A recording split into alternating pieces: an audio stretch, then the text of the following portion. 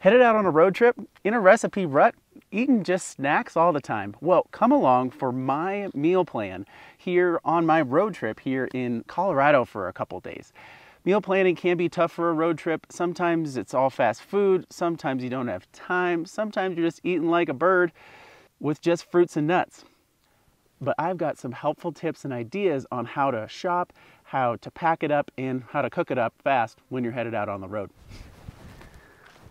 Hey, Chef Corso, I'm here to put you on the path to amazing meals on your outdoor treks, and I am in the middle of Colorado outside of Salida. And man, it is absolutely beautiful.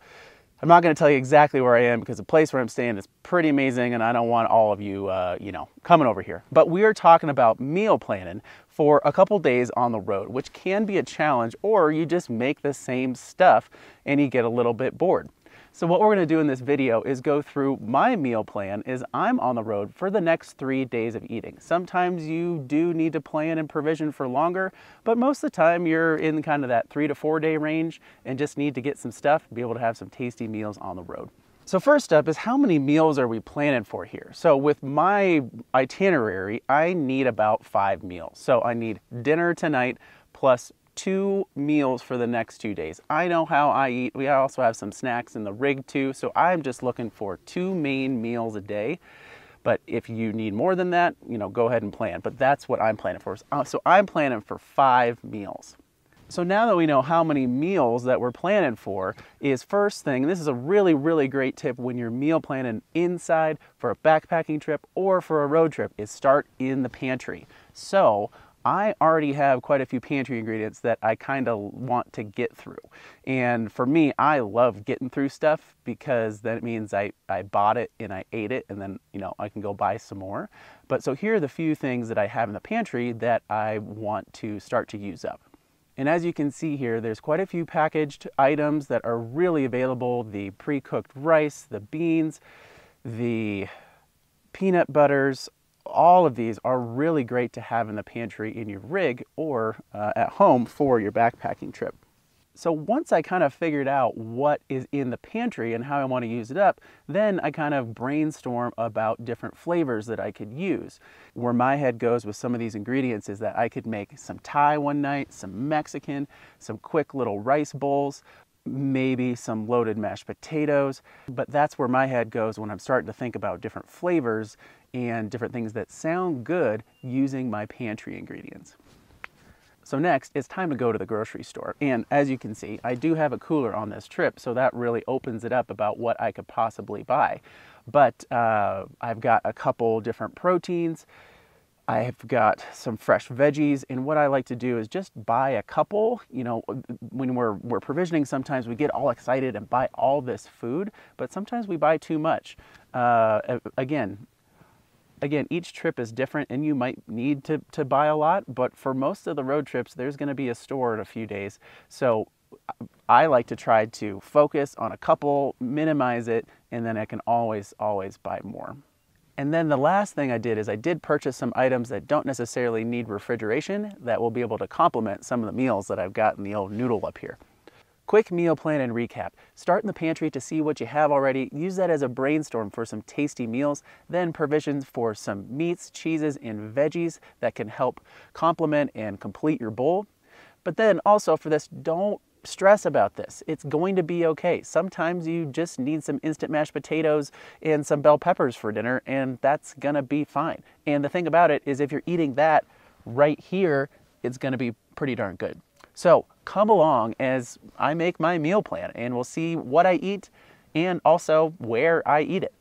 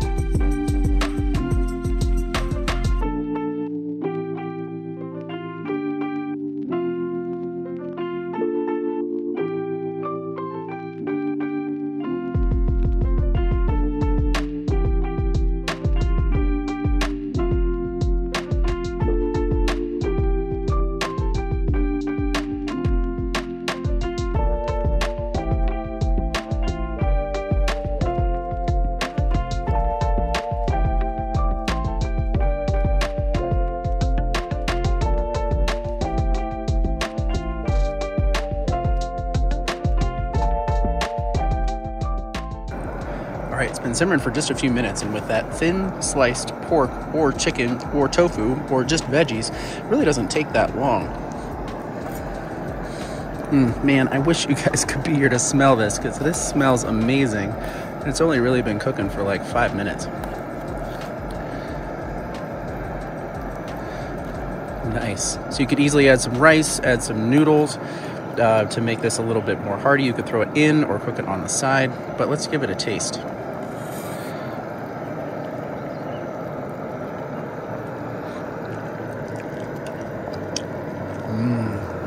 Mmm, that's really nice. So, so this is your chance to adjust it. You could always add more. So I'd like a little bit more salt or fish sauce. And I'm in a pretty spicy mood tonight, even though I already put quite a bit of chili in there. So a little bit more, a little bit more chili.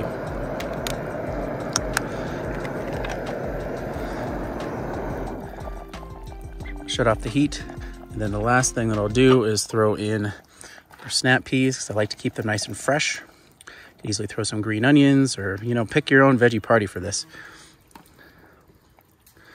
And then one of the best parts is a nice squeeze of lime on top. Oh, yes. So this is quick Thai soup. Again, you could throw some starch in it, add more veggies, choose your own protein, but having a few pantry ingredients and a few ingredients we got from the grocery store, man, this cooks up super quick, really tasty.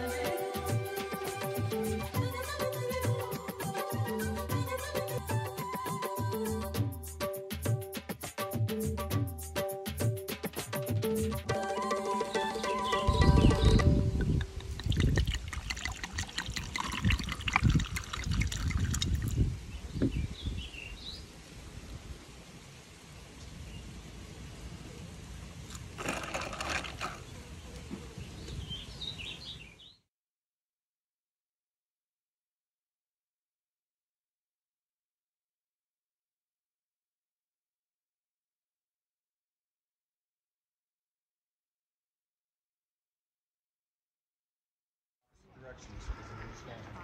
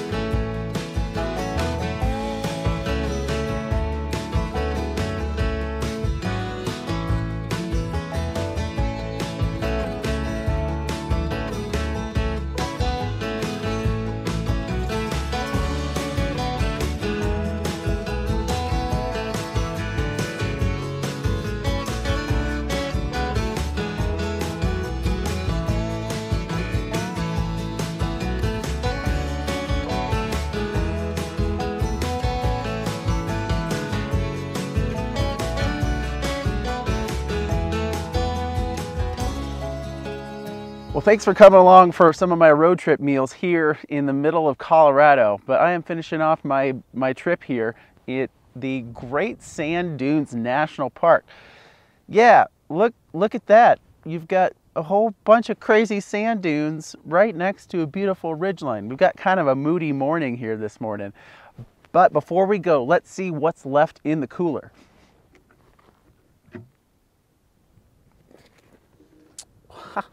well, would you look at that? I ate everything except a half a jar of salsa. So I say that was successful. I didn't have to buy anything else. I can go provision for the next round of meals, but that is a very, very successful meal plan. And as you can see by some of the recipes that I made, super, super tasty.